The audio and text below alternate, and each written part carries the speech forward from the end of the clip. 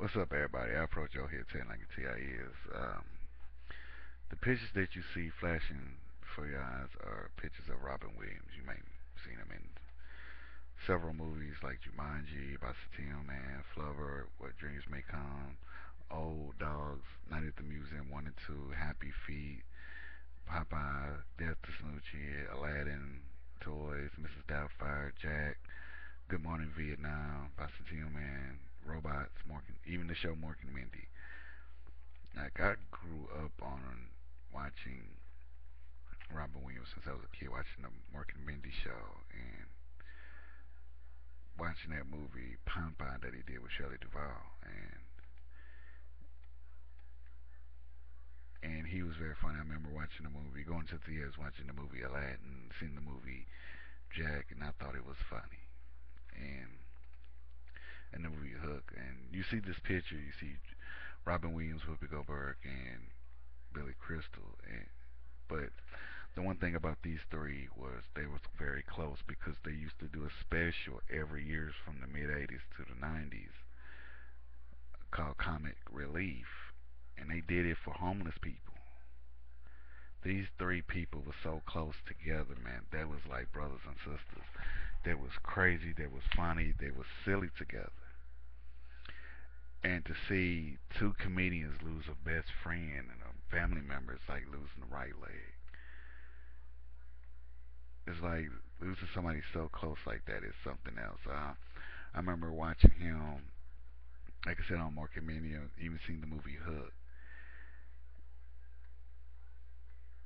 And one thing about it is growing up watching Robin Williams since I was a kid was something else to watch growing up and people don't understand about comedians is this, man. There's a when you become a comedian, there's a thing that comes with it. Comes with it's called uh, it's called depression. It comes with the territory. It comes with the territory, depression. And you might see this picture, this picture of Jonathan Weathers and Robin Williams. The reason why you see this picture because they was co-stars on the show. Mork and Mindy. Mork, everybody remember Mork used to was an alien from outer space and he met a girl named Mindy. And they became friends and they became lovers. Then they became married couple and they had a child which Jonathan Weathers played was Mork and Mindy's child. And God rest in peace for both of them. And Robin Williams dealt with drugs through the 80s. He used to do drugs with uh, John Belushi. Everybody knew who John Belushi is. He was one half of the Blues Brothers in the 80s, and him and Robin Williams used to do a lot of drugs together back in the 80s and you might seen him in the movie Hook, where he was in the movie Hook. He acted with Dennis Hoffman, not Dennis Hoffman, but uh, Bob Hat, uh, Bob from you know the guy, Bob Hoskins, Bob Hoskins from uh, who played Roger Rabbit. God rest his soul. And it's sad to see him. He committed suicide. He was 63, and one thing about it is, ladies and gentlemen, people don't understand. When you're a comedian, when you're a comedian, you're going to get stricken with depression. Every comedian goes through that. Every comedian gets struck with the with depression. It comes with the territory. It's like the whole drama and comedian mask. You got your drama, and you got your comedy, the comedy and the drama mask. You know, the happy mask and the sad mask. It comes with that with the comedians because they do that because they might be putting on a show for you to make you laugh to feel good. But inside they're hurting just like everybody else. And what what people don't understand is that he has dealt with depression. He did a show with Sarah Michelle called Crazies. which only lasted a season. I thought he was funny. Him coming back to TV after 30 years since he's been on Mork and Mindy. And it's sad to see that one of my idols that I grew up on, watching since I was a yay, yay. I'm 29 now, about to be 30, but growing up watching his movies, watching him being a comedian, being a fool on TV and in movies and cartoons, like he did Happy Feet and he did Robots, and his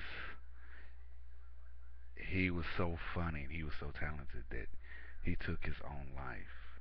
He said happy birthday to his daughter and he committed suicide, which I thought was sad to see a man with so much talent, so much talent that he has, that he was so depressed that he took his own life. Not like not to be saint, not to be mean, but I'm surprised. In a way, I am to see this man that's so loved, so loved by everybody, and touched everybody with his talents and with his personality that he lost his life. He, he took his life. And and it kind of breaks my heart to see him do that. And the and the funny thing about this is, not the funniest thing. The most messed up thing about it is, uh, you know, I watch Raw a lot, WWE, and uh,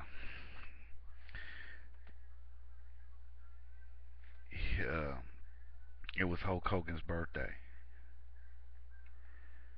Hulk Hogan's birthday.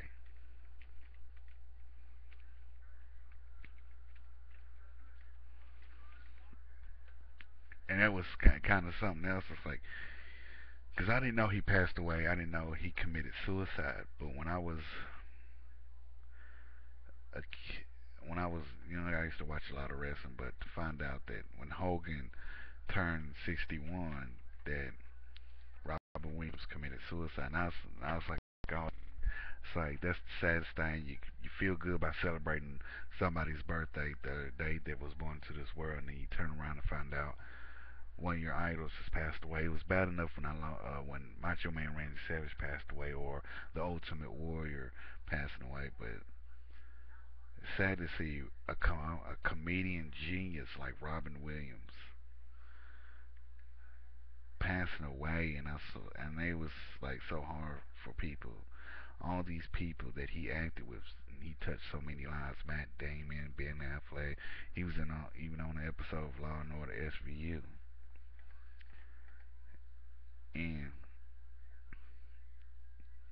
I thought he was a good actor. I thought he was a great actor because he knew how to bring the funny. He knew how to bring the drama. He knew how to do that. And to see him go out like it is like, man, why? Why? Why? And it's so sad to see him go out like it. I sad to see this man die like he did. Now I'm showing all the roles, not not all the roles, but the roles I know he's been in from Mork and Mindy all the way to the last, all the way up to Happy Feet. Happy Feet 2, I mean, from Mork and Mindy to all the way to Happy Feet 2 is his work. And it's something else to see this man gone. It's like watching your idol die again in front of you. It's like it was bad enough when people lost Bernie Mac, Richard Pryor, Jonathan Withers, uh, Greg Giraldo, all these. I don't know Robin Williams. I can't say I know him personally. I can't. I can't say that. But when you get so not ramped up, but you get so hung up on these people's work and their talent, the movies, the shows, and all like that they've done, you feel like you know that person.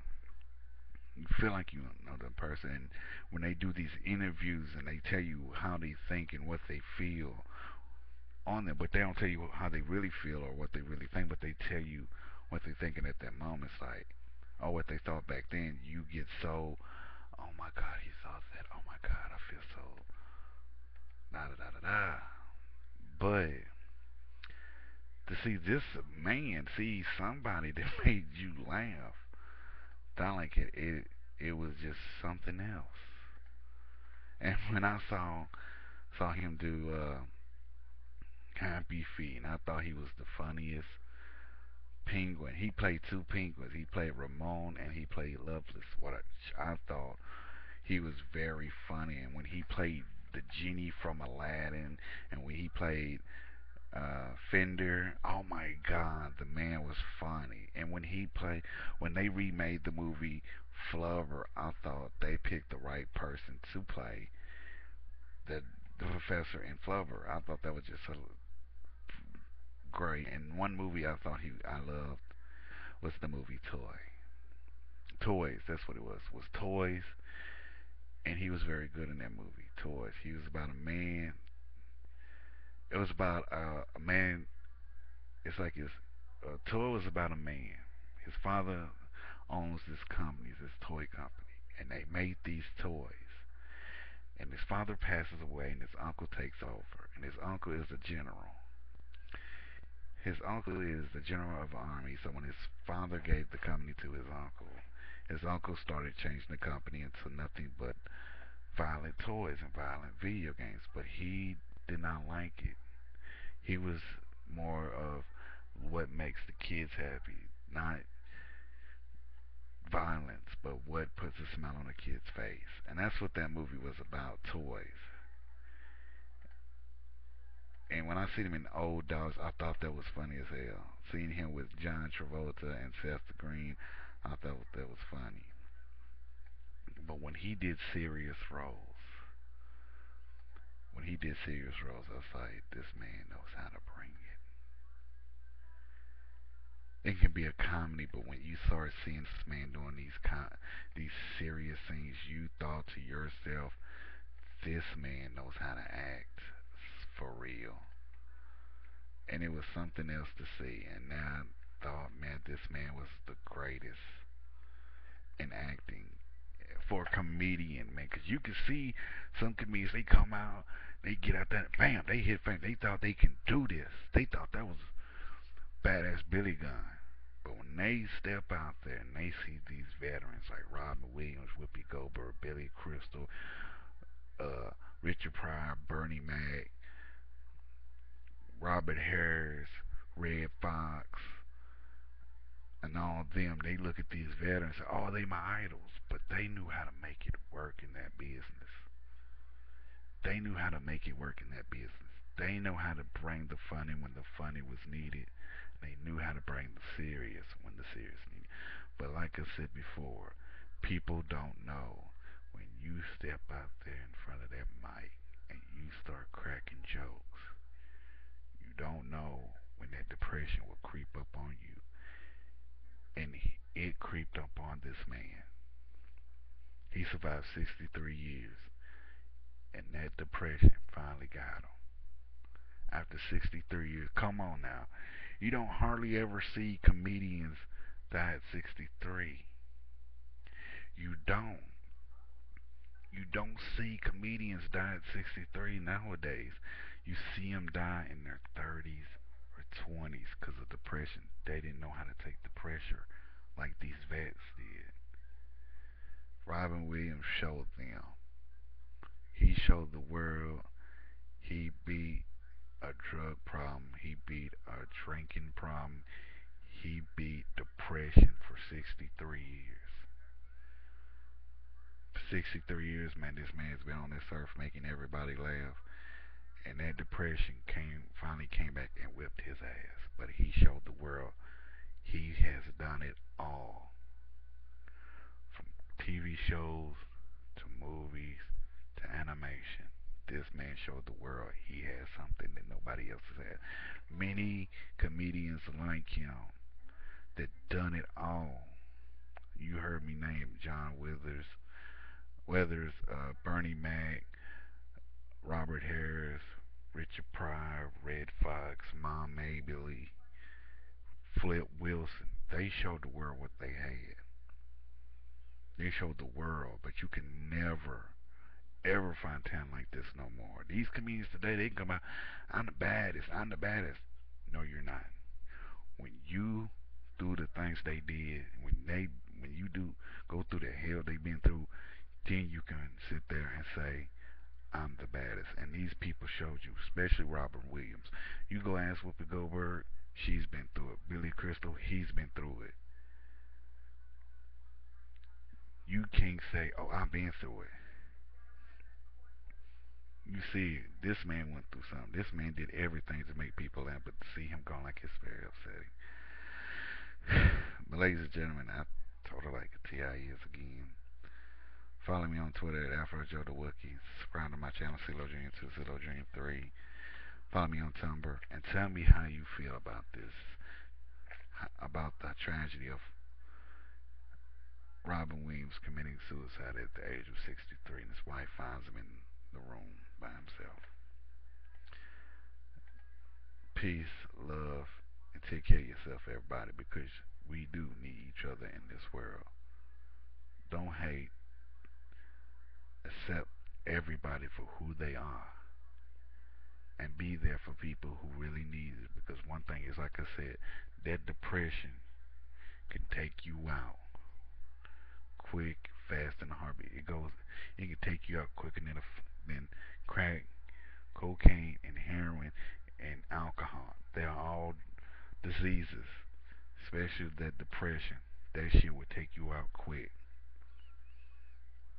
You just don't know how quick that depression will take you. You never know when it's going to hit you hard enough to make you take your life. And I'll tell you that for a fact, man. I've seen it with my own eyes that depression is not a joke. It's not funny. It's real as can be. To see somebody that famous, that bright, that star shine, his star shines so fucking bright, man, that nobody knew to flip it over to see how dim it was getting. That depression took this man. I don't blame Robin Williams. They knew he had a problem. It's like I said, when you're a comedian, that depression comes with the territory. That depression comes with that territory. If you go to be comedian, this is what you need to do. When you become a comedian and you start to make it, go see some help before it hits you too hard to take you out like this man did. He survived 63 years, man, and showed the world what he had. And finally, that depression took him out. Like I said, man, peace, love, and take care of one another. Bye.